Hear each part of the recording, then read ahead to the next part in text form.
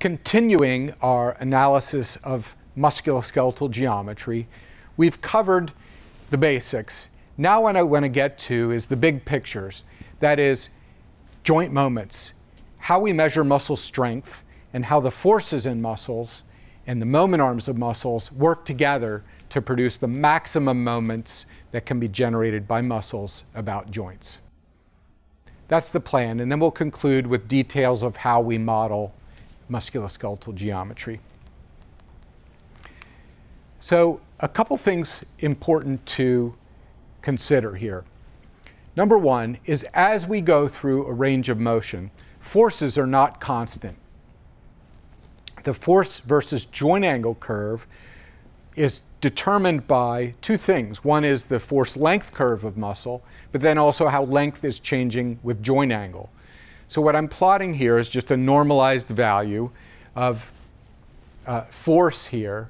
And there's a peak force that is going to be when the muscle force peaks, and it changes with joint angle because the length is changing with joint angle.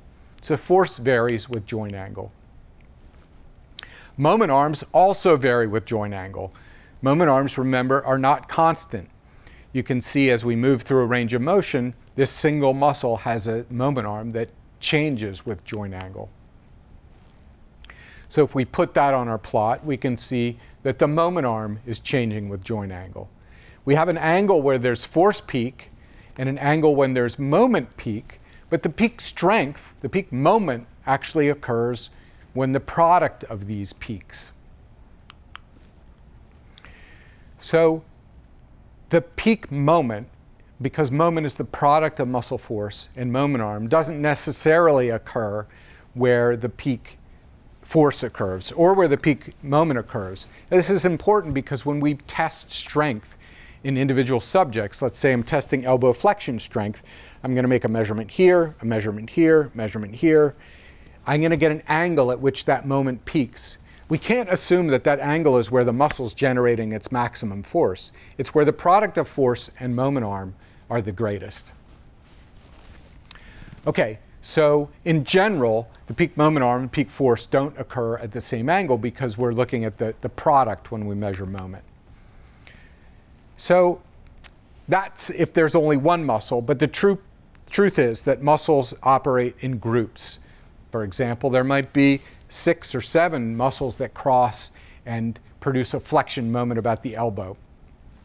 We might have a, a total joint moment curve here where the maximum moment generated by muscle A looks like this, muscle B looks like this, muscle C looks like this. But our nervous system is exciting all of these muscles at the same time, and the total moment will be the moment generated by all of those muscles. So normally it's more than one muscle, and the joint angle, joint moment relationships are the response of a complex set of relationships among the constituent muscles that cross that joint. So when we measure strength in humans, we're measuring a maximum isometric moment or a maximum concentric moment or a maximum eccentric moment. I'll show you maximum isometric moments here.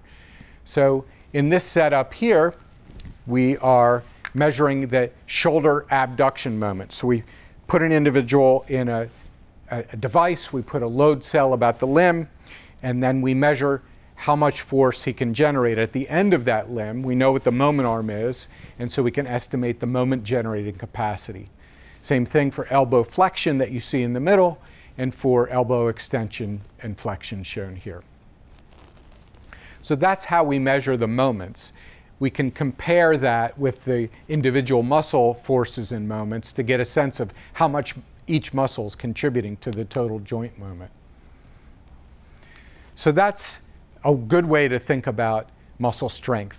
It's helpful to see this lecture, to read the book, and to do the OpenSim exercises so that you can see how individual muscle forces add up. Up in the next lecture, we'll talk about modeling musculoskeletal geometry.